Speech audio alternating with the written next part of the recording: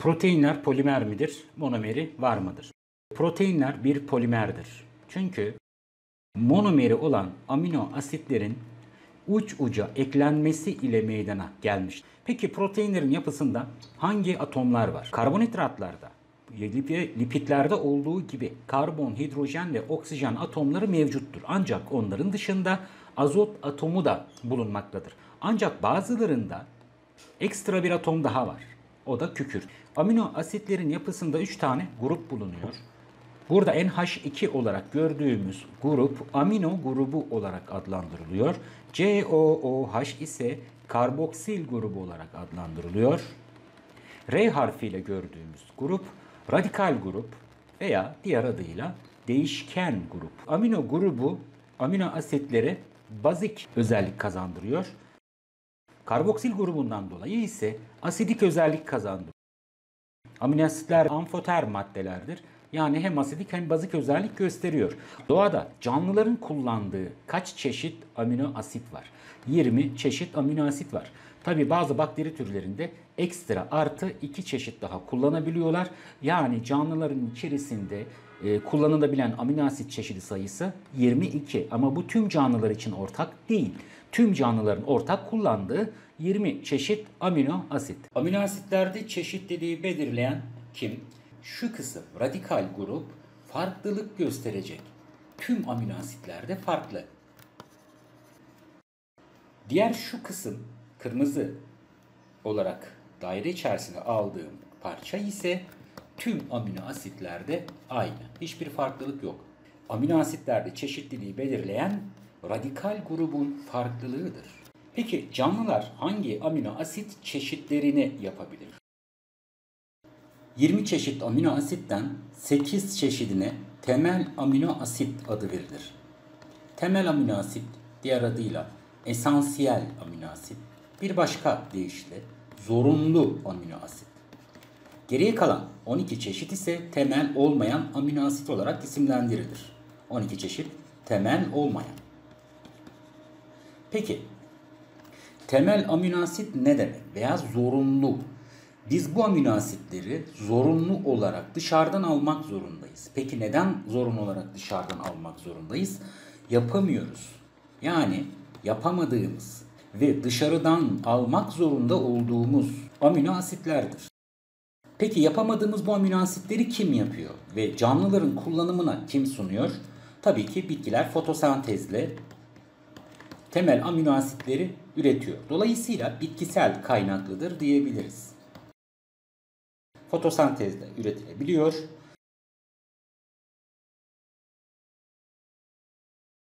...12 çeşit temel olmayan amino asitleri yapabiliyoruz. Kimden yapabiliyoruz? Diğer besinlerden yapabiliyoruz. Mesela yağ asitinden yapabilirim, gliserolden yapabilirim, glikoz gibi karbonhidratlardan yapabilirim. Ben bunlara amino asitlerde var olan amin grubunu da eklediğimde yani azot eklediğimde amino asit ortaya çıkabilir. Yani temel olmayan amino asitleri yapabiliyoruz. Tabi e, bu temel olmayan amino asitlerden temel amino asitleri yapamayız. İki amino asit birbirine nasıl bağlanır? Örneğin bu şekilde iki amino asit verilir. Gruplarına numaralar verilir. Hangi iki grup arasına e, peptit bağı kurulur diye sorabilir. Burada arkadaşlar 2 ve 4 arasına biz peptit bağı kuracağız. Birinci amino asitin karboksil grubu ile ikinci amino asitin amino grubu arasında gerçekleşecek. Karboksil grubundan OH, e, amino grubundan ise hidrojen çıkar ve sonuçta su oluşur. Bu olay zaten bir dehidrasyon sentezidir. Her iki grup arasına da bir peptit bağı kurulmuş olunur. Eğer iki tane amino asit birleşir ise buna dipeptit, 3 amino asit birleşirse 3 tri demek. Tripeptit. Poli çok anlamına geliyor. Eğer çok sayıda amino asit birleşirse buna da polipeptit adını vereceğiz. Protein sentezi ya da hidrolizinde bir sentezine bakalım. Görülen olayları grafikle çiziniz. Şimdi protein sentezinde ne kullanıyoruz? Amino asit kullanıyoruz. Amino asitleri birbirine bağlıyoruz ve sonuçta açığa bir polipeptit çıkıyor polipeptit artı N eksi 1 su. Yani bir dehidrasyon sentezi. Hücrenin pH'sı nasıl değişir? Dedik ki bu tür soruları çözmeyeceğiz. Bunun nedeni amino asitler amfeter olabilir ama hücre içinde bazıları asidik, bazıları bazik, bazıları nötr özellik gösteriyor. Artık bu tür soruların geçerliliği kalmadı. Protein sentezinde su açığa çıktığına göre hücredeki su miktarı artacaktır. Yine amino asitler birbirine bağlandığına göre bağı artacaktır. Her bağı kurulması için enerji gerekli. Dolayısıyla kurduğum bağ sayısı arttığı için harcadığım ATP de fazla olacak. Bu yüzden de harcadığım ATP miktarı artmış oluyor. Kullanılan amino asit diyor. Kullanılan amino asit miktarı artar. Fakat soru bize e, kullanılan değil de amino asit miktarının zamana bağlı değişimini sorarsa. Amino asit miktarı zamanla azalıyor ama kullandığım amino asit miktarı artıyor. Bu durum ATP için de geçerli. ATP miktarı hücrede azalmış oluyor. 20 çeşit amino asit var ve biz bu 20 çeşit amino asitten çok fazla farklı protein üretebiliyoruz. Dolayısıyla protein çeşitliliği nasıl sağlanır diye bir soru çıkıyor karşımıza. Mesela e, X proteini diyelim. X proteini için A amino asiti, B amino asiti, C amino asiti ve D amino asitlerini kullandım. Kullandığım amino asit 4 tane. 4 tane amino asit kullandım. Kaç çeşit amino asit kullandık? 4 çeşit amino asit kullandık. Hangi çeşitler? A, B, C, D çeşitleri. Peki bunu ben A, B, C, D, D olarak yazarsam bu X proteinim olur. Hayır, bu protein farklı bir protein olur. Çünkü amino asit sayıları farklı. Dolayısıyla protein çeşitliliğini sağlayan faktörlerden bir tanesini bulmuş oldum. Nedir bu? E, amino sayılarının farklılığı. Onu da isterseniz şuraya yazalım. A, B, D ve C. Şimdi X proteini ile kıyaslayacağız. A, B, C, D diye bir diziliş vardı. Yani amino asit sayısı aynı. Yine 4 tane amino asit var. Ve yine 4 çeşit amino asit var ve çeşitler de aynı. Buradaki protein X proteini ile buradaki protein aynı mı? Ben buna X mi yazacağım? Hayır. Yine X yazmayacağım. Buna da Z diyelim. Dizilişi bile değiştiği zaman o zaman proteinin yapısı da değişmiş oluyor. Mesela A, B, E, D diye yazdım. Şimdi X proteini ile kıyaslayalım veya Z'li de kıyaslayabilirsiniz. Bakın A, B, C, D çeşidine sahip Z proteini. Ee, bir diğeri ise A, B, E, D. Farklı bir çeşit gelmiş. Dolayısıyla bunun Z proteini veya X proteini olması mümkün değil. O da ne olsun? K proteini olsun. Yani amino asit çeşitlerinin farklılığı da proteinlerin farklı olmasına neden oluyor.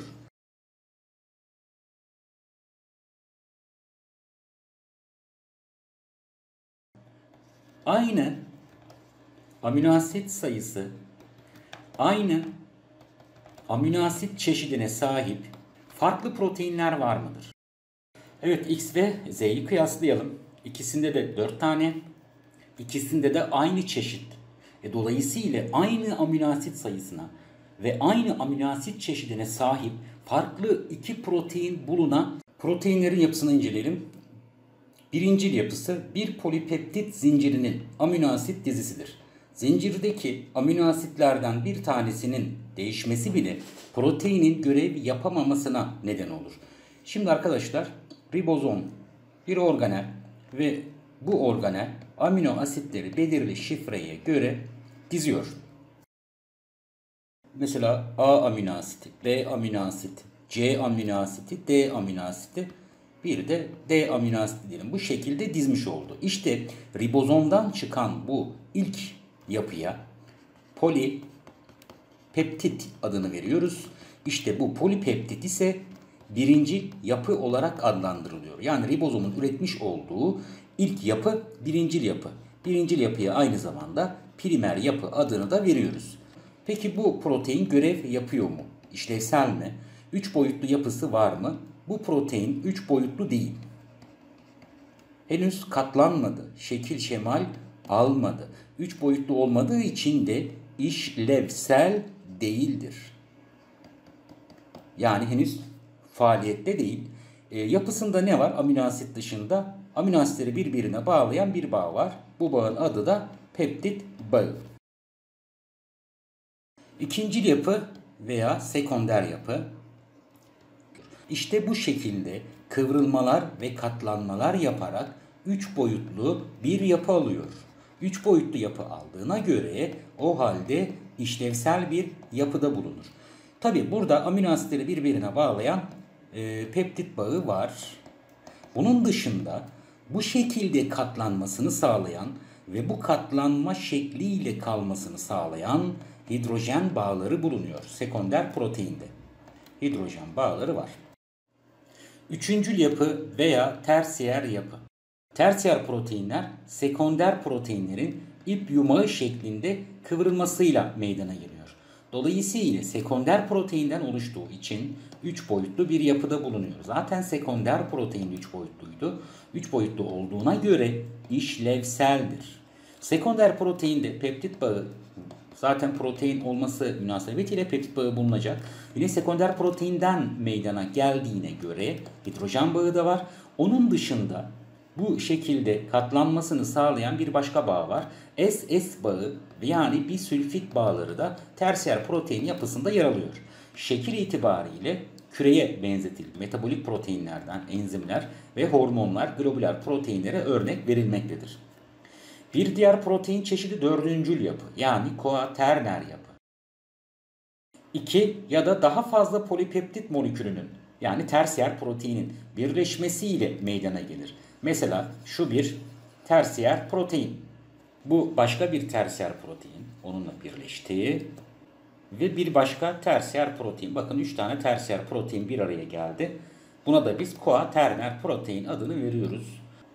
Tersiyer protein için söylediğimiz her şey otomatik olarak koaterner için de geçerlidir. Yani 3 boyutlu yapıda işlevseldir. Peptit bağı, hidrojen bağı, SS bağları bulunmaktadır. Bir protein molekülünün şurada görüyoruz ki 3 boyutlu yapıda bu 3 boyutlu yapısının bozulmasına denatürasyon adını veriyoruz. Ne bozuyordu bunu? Yüksek sıcaklık, aşırı pH değişimi, ağır metaller, aşırı tuzluluk, yüksek basınç, proteinlerin bu üç boyutlu yapısının bozulmasına neden olmaktadır. Peki nasıl bozuluyor? Arkadaşlar hidrojen bağları vardı biliyorsunuz 3 boyutlu yapıda. SS bağları vardı. İşte bu hidrojen bağları ve SS bağları kopar. Sonuçta kazanmış olduğu katlanmalar 3 boyutlu yapı bozulmuş olur.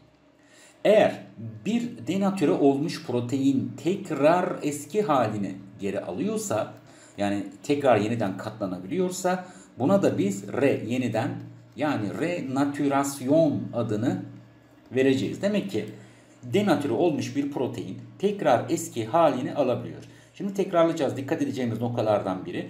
Bir proteinin 3 boyutlu yapısı sıcaklık aşırı pH değişimi, ağır metaller, aşırı tuzluluk ve yüksek basınçta bozulabiliyormuş. Bu bozulma hidrojen bağları ve ses bağlarının kopmasıyla gerçekleşiyor. Dikkat edilecek husus şu e, denatürasyonda proteinlerin ya da polipeptidin yapısındaki peptit bağı kopmaz. Buna bir şey olmuyor. Kopan bağlar hidrojen bağları ve SS bağları buna çok çok dikkat edin. Denatürasyonda peptit bağları kopmadığı için amino asitlerin sayısı, amino asitlerin sırası, çeşitlerinde bir değişim olmuyor. Bir değişim yok.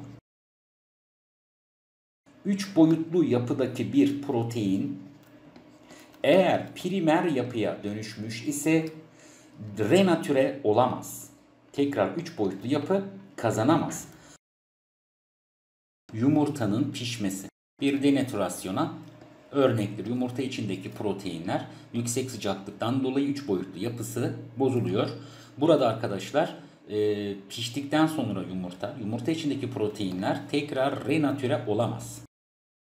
Renatüre olmaya örnek verelim. Mesela düz saçlı birinin saçlarını perma yaptırdığını düşünelim. Şekli kıvırcık oluyor. Ondan sonra belli bir süre sonra tekrar bu perma saç eski haline geri alıyor. Bu da bize saçtaki proteinlerin renatüre olduğunu gösteriyor. Renatürasyonla ilgili dikkat edeceğimiz bir başka nokta ise renatürasyonda yani renatüre olmuş bir proteinin primer yapısında herhangi bir bozulma olmuyor. Proteinlerin canlılar için önemine bakalım. Enzim ve hormon gibi moleküllerin yapısına katılıyor. Bildiğimiz gibi enzimler biyolojik katalizördür. Reaksiyonlardan etkilenmeden çıkan ve reaksiyonları hızlandıran bir molekül olan enzim yapısına katılıyor. Hormonlar da metabolizmanın düzenlenmesinde sinyal iletiminde görev alıyor. Vücutta bağışıklığın sağlanmasında görev alır. Nasıl bağışıklığın sağlanmasında görev oluyor? Biliyorsunuz akyuvarlar var. Bir akyuvar çeşidi olan lenfositler var. B lenfositler. Bu B lenfositler antikor üretiyor ve antikorlarla mikropların yok edilmesini sağlıyor. Vücudumuzda yapıya en fazla katılan organik moleküldür proteinler. Sonurum gazların taşınmasında görev alır. Mesela al yuvarlarımızda hemoglobin molekülü bulunuyor. Hemoglobin oksijen ve karbondioksit taşıyan bir moleküldür. Dolayısıyla proteinler sonurum gazların taşınmasında önemli bir rol üstlenmiş olur. Kanın pıhtılaşmasında görev alırlar. Pıhtılaşmada görev alan iki tane önemli protein var. Biri trombojen, bir diğeri fibrinojen. Kanın plazma kısmında bulunan albümin ve globulin gibi proteinlerin yapısına katılır. Kan dokuda bunları söyleyeceğiz. Kasların kasılmasında görev alırlar. Mesela aktin iplikleri var, miyozin iplikleri var. Aktin ve miyozin yapısına katılarak kasların kasılmasında, canlının hareketinde önemli bir rol üstlenmiş olacaktır. Proteinler birinci derece yapı maddesi, üçüncü derece ise enerji kaynağı olarak kullanılıyor. Proteinler insan vücudunda bir karbonhidrat gibi ya da bir yağ gibi depolanmıyor. Sütte kazein adı verilen protein bir depo proteinidir. Sadece bu var. Bir de örnek vereceğimiz bir başka yapı yumurta. Yumurtada ovalbümin bu da yine bir depo proteindir. Besinlerle yeterli miktarda alınmadığında ortaya çıkan protein yetersizliğinin belirtileri nelerdir? E zaten proteinlerin görevi ne ise protein eksikliğinde de ona bağlı problemler ortaya çıkacak. Yani yeterli enzim ve hormon yapılamadığından metabolik olaylar aksamaya başlayacak. Antikor yeteri kadar yapılamayacağından bağışıklık sistemi zayıflamaya başlayacak. Hemoglobin yeteri kadar üretilemeyeceğinden alüvar yapımı aksayacak ve kansızlık görülecek. Zihinsel gelişim yavaşlayacak. Yaraların onarımında görev alıyordu. Birinci derece yapı maddesiydi. Dolayısıyla yaralar geç iyileşecek. Ve en önemli noktalardan bir tanesi ödem oluşumunun görülmesi. Kaslar zayıflamaya başlayacak. Kanın pıhtılaşmasında gecikmeler görülecek.